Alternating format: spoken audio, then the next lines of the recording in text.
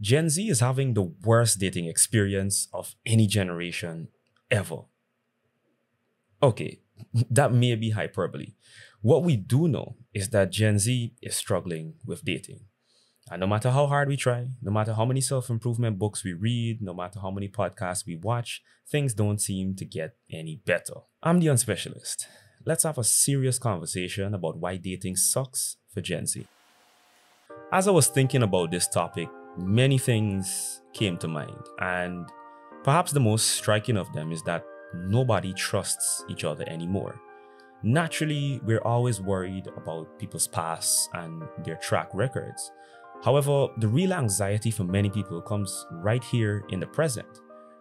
We're anxious about people's intentions, uncertain about their sincerity, and that low level of trust leads many people to constantly take stock of the other person's availability, their interests, and their effort. And if any of those drops off, we automatically assume that they're onto something else. And their commitment isn't serious or there's no commitment at all. As a result, nobody has that sense of stability and comfort that the other person is acting in good faith. Of course, being open and trusting is ideal, but in today's environment, that's equivalent to being naive and ripe for exploitation.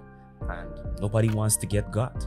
It doesn't help that for many in Generation Z, our observations and experiences tend to reinforce that cynical viewpoint. Maybe you've been burned, or maybe you've seen people get burned and you decided that it's not worth it to put yourself out there like that. Which brings me to another big issue in Gen Z.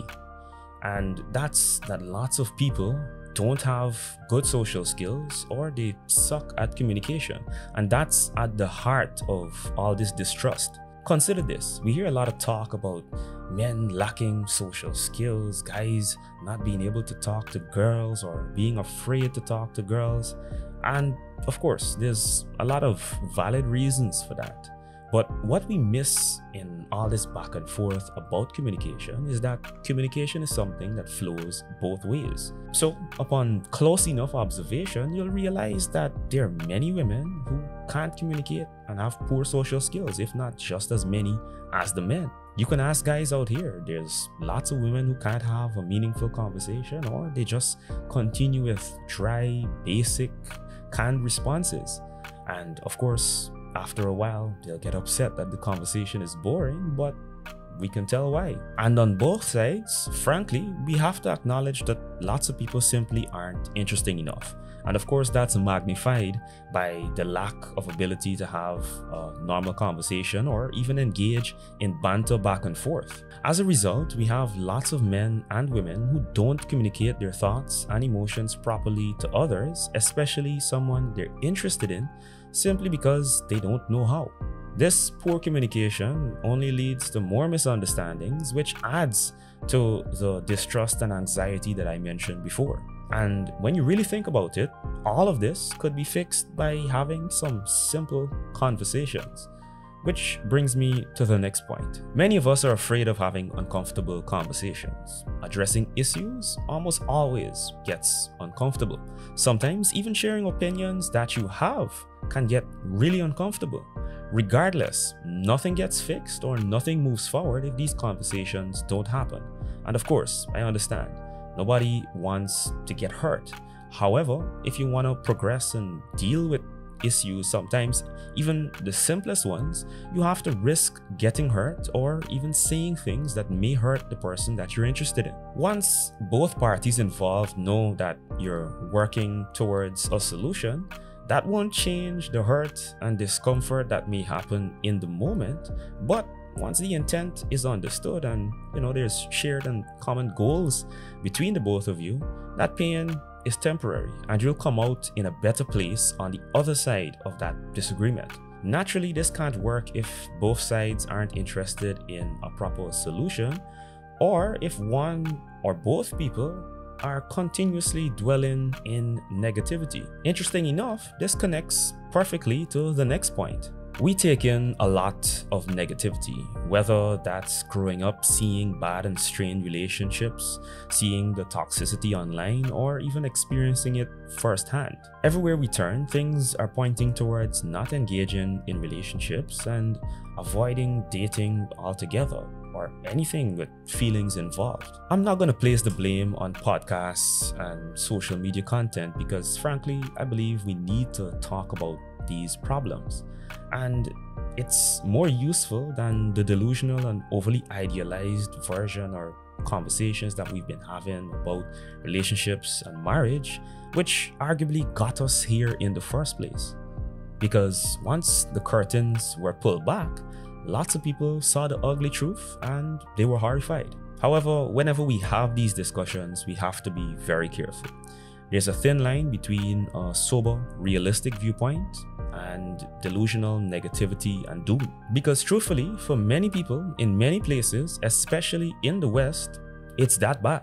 And that's why I think you should always try to understand your own circumstances. Stay grounded and remember what is without getting too caught up in the what ifs. I had a bunch of thoughts and different ideas for this last one, but I just decided to lump them all together.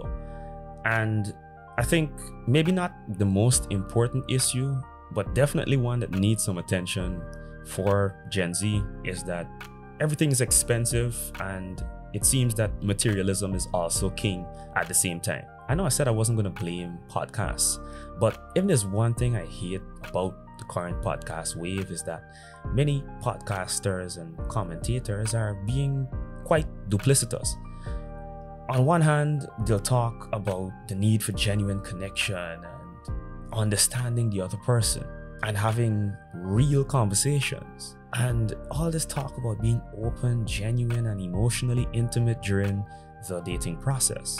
But right after having those conversations, they'll spend so much time talking about money, who should pay, how much they should pay, how much they should spend, what gifts they should buy, etc. And yes, we understand that money is important for dating, relationships, marriage, all of that. However, once you've gotten that financial part out of the way and you understand that the person you're interested in makes good money, the money that you think is ideal, or you realize that you can work with this person, there's still lots of relationship work to be done. When do we start talking about coming to the other person in good faith and doing things and activities together that give you a proper chance to show who you are and learn more about the person that you're interested in. Many of these things don't require any money at all. Take a page out of those idealistic stories that you've heard from previous generations. Many folks' grandparents got to know each other a lot better on long walks, sitting at the beach, sitting in the park, or just spending time in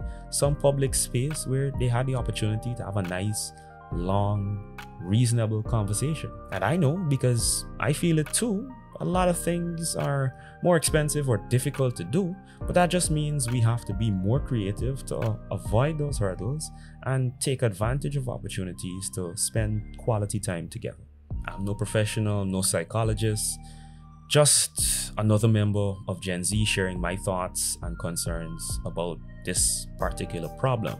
However, as I close out, I want to make note that for many of us in Gen Z, we'll have to be very creative and figure out a lot of these problems for ourselves because we're facing challenges that previous generations didn't have to face, especially at this magnitude. Things like social media, online dating, and so much more. And in the face of all this negativity, setbacks, and frankly, a horrible environment for many people, we have to find ways to work towards that ideal of being open and authentic.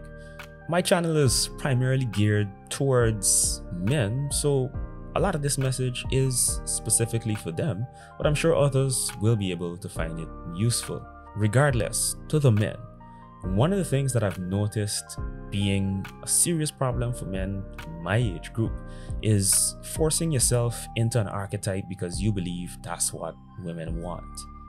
And frankly, that's ridiculous. The moment you start doing that, you're automatically playing a losing game. Because when the mask falls off, what then? And if the mask doesn't fall off and you manage to keep up the facade for as long as you possibly can, then you're living a lie. You're not being yourself. You're being somebody else just because you think that other person is more desirable. I'm sure I missed some major issues for Gen Z, or there's some topics that I may not have discussed properly or could be developed further. And maybe even things that need correction. Let me know your thoughts down in the comments. Do you think Gen Z has it easier than any generation before? Or if you're a member of Generation Z, what difficulties do you encounter? How do you think we can get things back to a better place? Like the video if you think it was useful for you, and don't be afraid to subscribe if you want to see more content like this in the future. As always, thanks for your support and thanks for watching. Peace.